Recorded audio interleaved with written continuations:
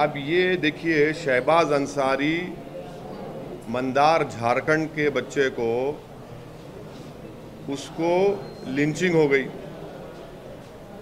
अब ये रेडिकलाइज कौन कर रहा है इन लोगों को? ये बताइए ना। यही तो मेरा सवाल है।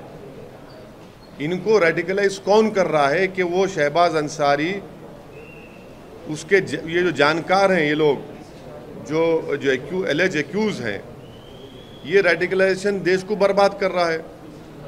क्या शहबाज को इंसाफ मिलेगा?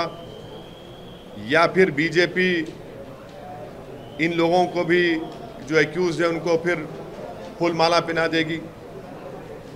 तो झारखंड की सरकार की ज़िम्मेदारी है कि इस पर सख्त एक्शन ले और वो पीड़ित परिवार से कोई मंत्री जाकर मिले, उनको यकीन दिलाए कि इनसे इंसाफ होगा।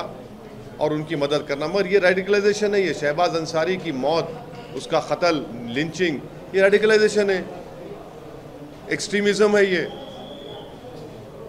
धर्म संसद में क्या क्या नहीं बोला गया। ये सब रेडिकलाइजेशन हो रहा है।